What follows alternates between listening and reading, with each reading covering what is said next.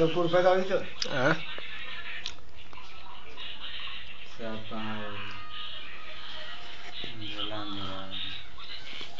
TV चालू कर दो रोशनी आती क्या? हम्म। टीवी चालू कर दो